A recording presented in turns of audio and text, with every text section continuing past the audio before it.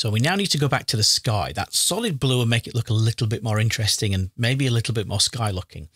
So I'm going to go to the view menu and choose fit artboard in window and get a nice clear view of that. If you recall, that is stored in the sky layer. So we can click on the triangle, the toggle in there to expand that open. And that is rectangle. It's at the top up there and it has a padlock next to it because it is, of course, locked. Click on the padlock to unlock that item. And then you can hover over that uh, rectangle and left click to select it.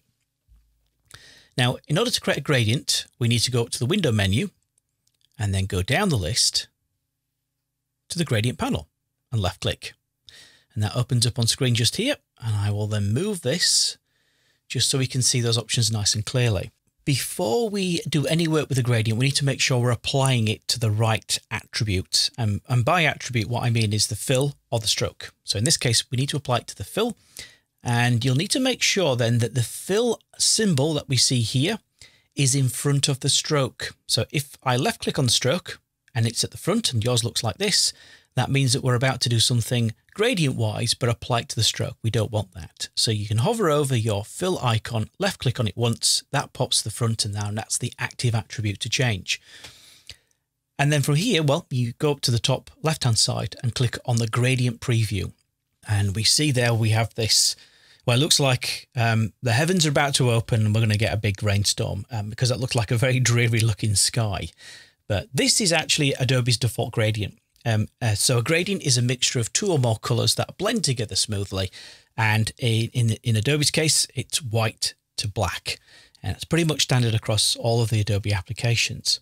Now, of course, we don't want to leave our sky looking like this, so we need to alter it. First of all, what we'll do is we will go to the angle value in the middle in here. Now, because we've got black and white, it's going to be fairly easy to see where the angle is of this gradient. I'm going to swipe over that I'm going to type in 90 and press return. So now the idea is that we've got a colour starting at the top that gradually fades or blends into a different colour.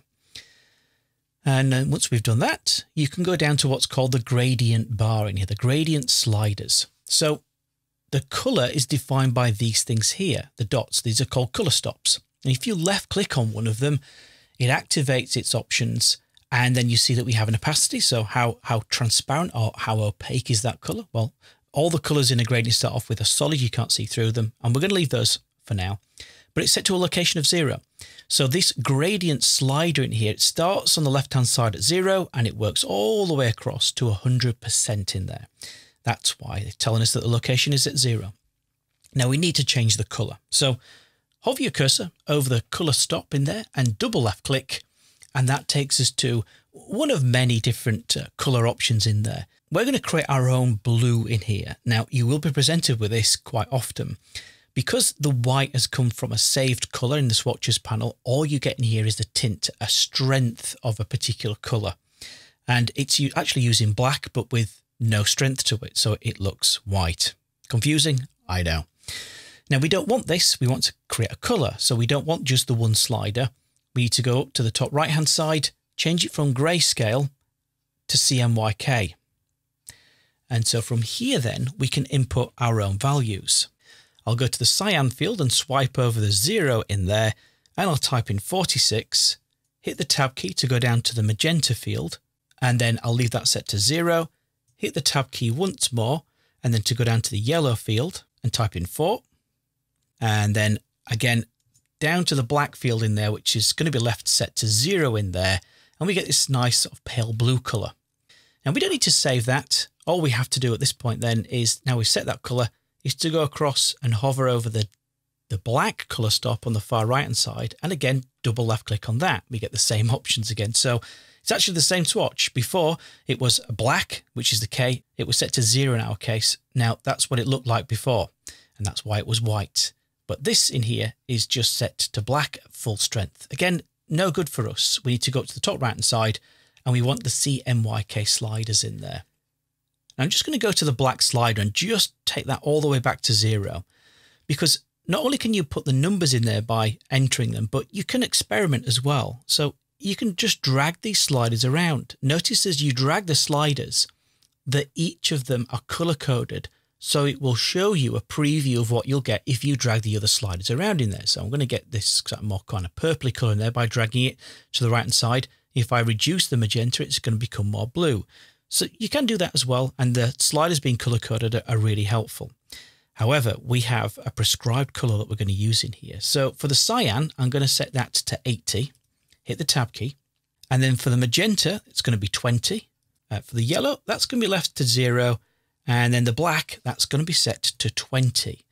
And then in this case, you can hit the return key and it'll make that a slightly darker blue in this case. We don't need to save it, so we just come out of that dialog box. Now, that's not all you can do. We can influence how much of the lighter or the darker blue appears inside of the gradient and then in turn the object. So what we have at the moment is the dark blue uh, that's on the right-hand side of our gradient slider with a location of 100% is at the top of our object and the lighter blue on the left-hand side of our gradient slider set to 0%.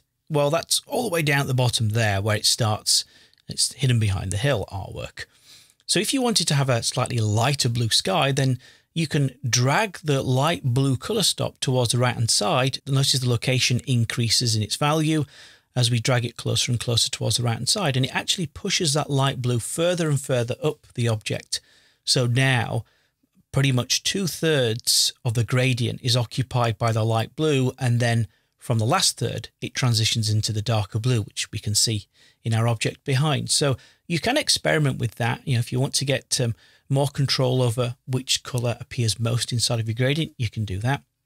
You can go to the drop down menu where location is uh, stored as well, and you can click on one of the presets as well if you wish to. It is also possible to save that gradient as well. You can go to the fill color chip in the properties panel, click in that, and it will detect we have a gradient applied. Go to the pop-out menu at the top, and you can choose new swatch. And it will give it the imaginative name of uh, new gradient swatch, but we could call this sky, and you can call that whatever you like to, and then click OK. So that will now, in the future, be stored inside of your swatches panel to reapply anywhere else. One thing to note is that gradients do not remember their angle value. So if you apply this gradient somewhere else, it will forget that it was uh, set to 90 degrees. Slight downside, but that's just something to bear in mind. With that done, I'll hit the return key.